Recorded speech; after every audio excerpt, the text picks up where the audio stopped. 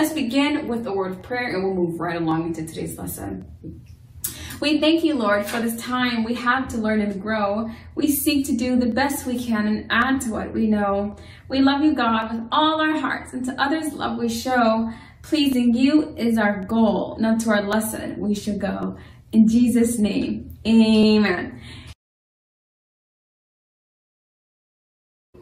All right, welcome to HeroesMart Homeschool Academy, boys and girls. This is Mr. Lan. I will be walking you through grade 3 mathematics. Grade 3 mathematics, and please go ahead and turn to page number 238 of your workbook over there if you've downloaded a copy of it. If not, you're welcome just to watch on the screen with me. It's going to come in front of you. And again, you can download the workbook from heroesmart.com slash store. So that's going to be heroesmart.com slash store. Okay, so you can do that. All right, so today we're going to try to review some of the concepts that we learned before about algebra, okay? Algebra. Oh, wow, that sounds like a big word now. It's what you do every time you're trying to check out the grocery store. Well, you're doing algebra over there. You're trying to uh, count money, how much money you have in your bank account and how much money you're going to spend to pay the, the, the to pay for this and that. Well, that's algebra. So we're going to do a quick review of what algebra is. So algebra is all about trying to have a set, of, a set of numbers and mathematical processes to the left of an equation and mathematical processes to the right of an equation. So for example, let's say 200 plus 10 is going to be equivalent to what? Well, that's going to be equivalent to 210. Well, guess what? You just did algebra when you did this. And how does this apply to a grocery store experience, for example? Well, two bags of rice. If you were to purchase two bags of rice, and one bag was like $50 for you, and you purchased three bags of popcorn, and one bag was like $2 for you. And you purchased one bag of tomatoes. And one bag is like maybe $2 for you. Now you want to go ahead and check out all these items from the checkout of the grocery store. Guess what? You got to know some algebra because you're going to say, mm, well, how much am I going to pay for all of this? Well, I'm going to pay 2 times 50, right? Plus 3 times 2 plus 1 times 2 is going to be equivalent to the amount of money that I'm going to pay to take all these items home with me from the grocery store. That is algebra for you.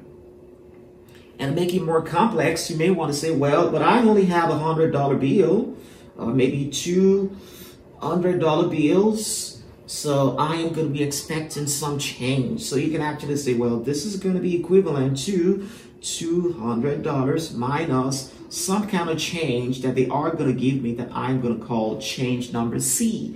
Well, guess what? You did algebra as well. so algebra is all over. You got to know, you got to know how to think about it and you got to apply it to different situations in life. So that's what algebra is and I'm um, hoping you, you got something out of it. Did you get something from it? All right, bless God. All right, so thank you for joining me. So you're welcome to turn to page number 238 of your workbook over there, and you are going to see additional explanations and how to further internalize the concept of algebra. All right, so that's what I've got for you. Please go ahead and recite the morality creed when I step when I step away from the screen. And if you haven't done so before, you haven't downloaded your workbook, you're welcome to go ahead and take a quick snapshot of the study notes and the worksheet on the board behind me because we want you to have it regardless. So why are we talking about all this morality creed and things like that? Well, the reason we're talking about it is because we believe that knowledge should be intertwined with biblical values or else we're going to use that knowledge for evil. Moms and dads. That's what God talked about. God talked about that in Deuteronomy chapter, chapter 6. It says, in everything you do, make sure you talk about the laws of God. So when you're talking about mathematics, incorporate the knowledge of God into your study of mathematics, primarily because God is the author of all knowledge. And there is a reason he allows every piece of information to penetrate the world's atmosphere. There's a reason for it.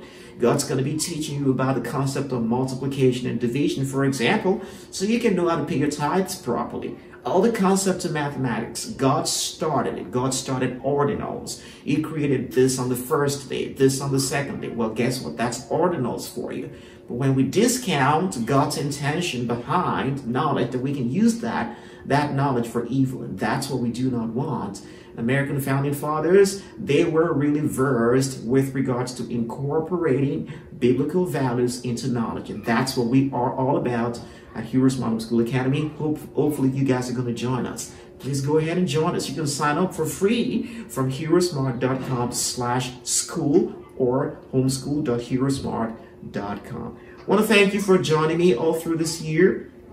It's been a wonderful thrill for me to be your mathematics teacher for third grade, raising your little hero together with you and putting you totally, absolutely in control of that with the resources that we can offer you at the HHA. So go ahead and try to recite the morality creed when I step aside from the screen. And remember, as always, God cares about you, and so do we. Bye-bye. I believe in Jesus Christ the Messiah who died and was resurrected from the dead to save humanity from sins. He is my Lord, Master, Boss, and Savior. I love God, I love myself, and I love others with the God kind of love. I believe the Bible is inspired by the Spirit of God and is the basis for morality, rights, and wrongs I look to the Spirit of God to understand God's intent behind every letter of the Bible.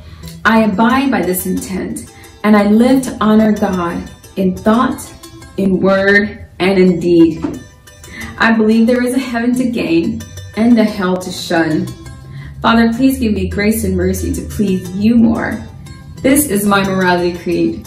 In the name of Jesus, amen.